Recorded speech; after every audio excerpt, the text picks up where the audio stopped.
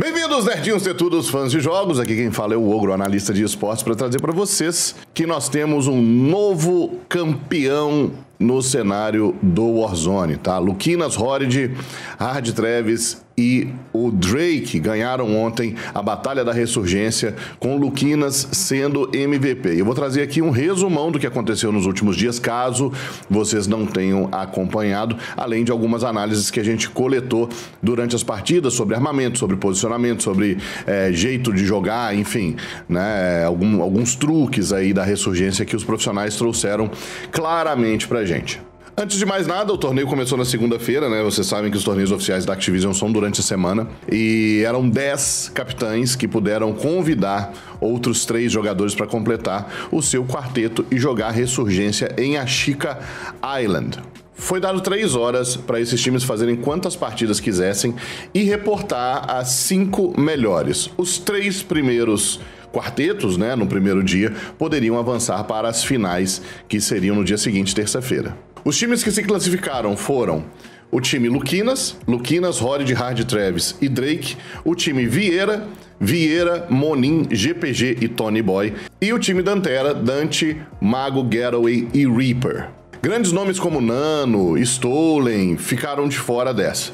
Basicamente o que a gente viu nas finais foi um show né, dos profissionais para lidar com a 12 KV Broadside. Algum de, alguns deles estavam usando 12, assim como Moninha, assim como Vieira, assim como o próprio Hard Travis, né, do Squad Luquinas, mas não eram todos.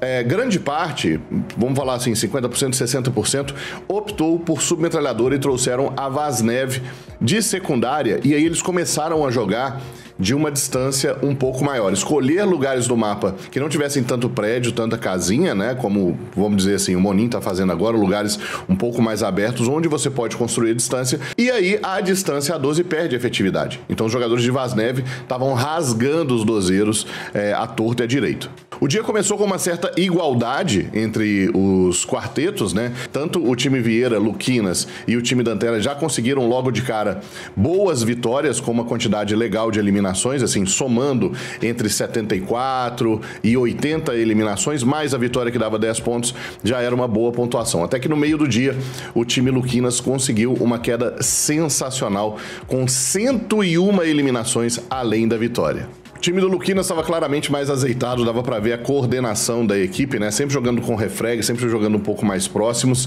É... Cara, tava sensacional o setup das armas, né? Como eu falei, parte do time jogando de Vasnev, o próprio Luquina jogando de Kastov 762, né? E a opção principal aí dos profissionais tem sido justamente a ISO Hemlock. O próprio Getaway puxou de secundária, ao invés da 12, uma Basilisk simples com Snake Shot e tava dando two tap nos caras, né? Tava dando dois hits ali para matar. Fez um estrago com essa Basilisk e usou também em algumas ocasiões a Kastov 74U como aqui de secundária, né? Um rifle de assalto sendo usado também como submetralhadora, né? Ela com os attachments mais curtinhos, extremamente poderosa a curta distância.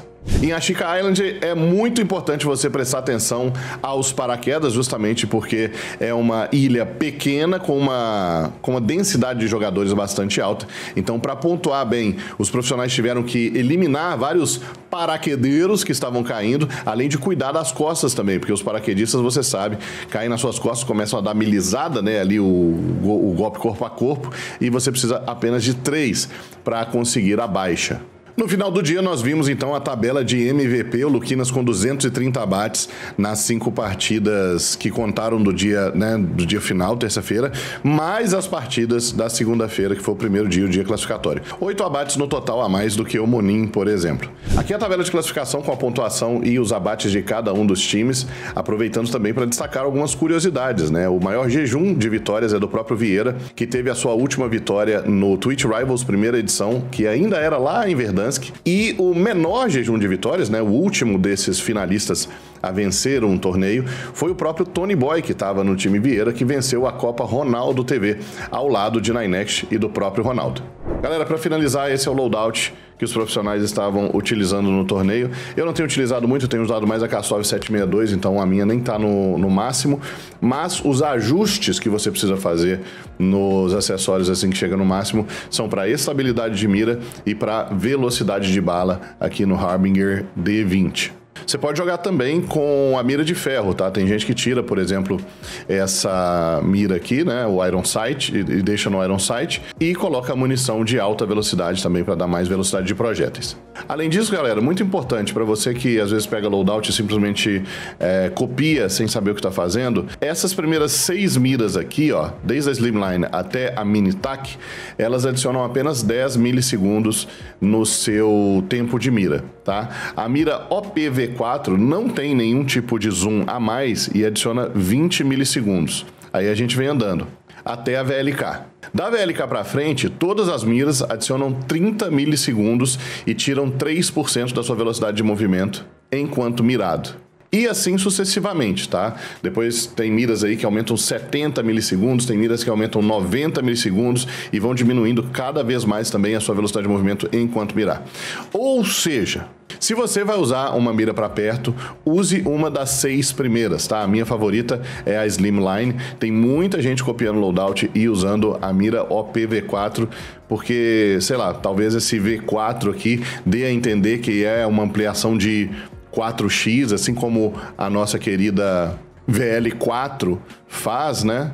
Mas não se enganem, né? Para ter ampliação tem que estar tá escrito aqui, ampliação 4x, ampliação 5x, ampliação 5.5x. Então, para qualquer efeito, vou mostrar aqui para vocês também a mira de ferro da, da ISO, né? Ela é um pouco obstruidinha. Então, tem gente que usa, tem gente que está privilegiando, mas eu não gosto da ideia, né? Se fosse apenas o pino ali da frente, beleza, mas esse quadrado junto, ele é meio zoado, deixa bastante área, né, da sua mira ocupada, então eu não gosto. Mas fica aí a opção caso você queira usar a munição de alta velocidade, beleza? Espero que vocês tenham gostado. Beijo do Ogro. Nosso conteúdo é diferente.